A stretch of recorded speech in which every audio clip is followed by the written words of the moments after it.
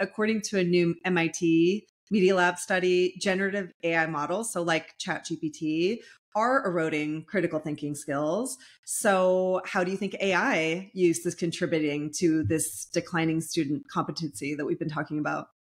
I only have a personal opinion on this. I don't study this. I don't read the studies on it. I read the newspaper articles about it. But my yeah. God, I'm deeply worried.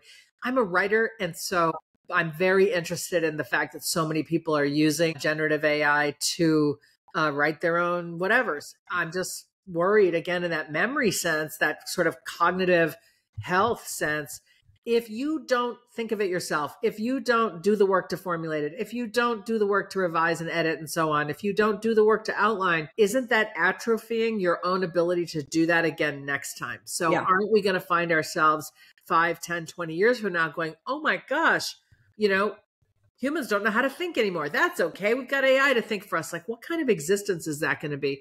Yeah. So I'm super concerned. I hope we can figure out how to use AI for what it's great for without letting AI be so simple and so easy that we outsource our own capacity to think, create, problem solve to it rather than put ourselves through the paces. Yeah. I mean, I'll be really upfront. We are advocating for 18 plus for all AI. It has to do with safety, but it has to do a little bit with what you're talking about. So, first of all, you, you know, learning should be a little bit hard right? There should be a little bit of effort involved. I mean, it's not should by definition. If you're learning, it means you don't know.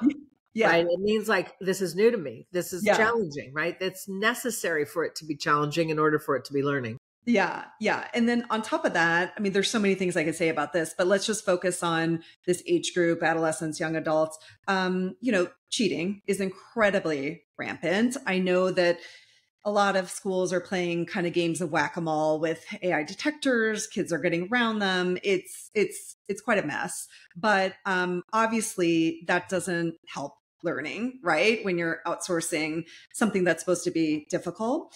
And then the thing that I focus on a lot too is the hallucinations, which is when it basically just makes stuff up. And the only reason I know about it is because I know about the topic that I'm having it help me with, right? So I can identify and push back. But I worry that young people, they don't know everything yet, right? That's the whole purpose of school and higher education is for them to get, you know, a foundation basically to go from, right? How are they going to catch it if it's wrong, right? And I, I'm sure maybe these things will be worked out at some point, but as of right now, it is still a big, big problem. And then, of course, we can get into safety and the psychological aspects of it. But just in terms of learning, those are my biggest concerns.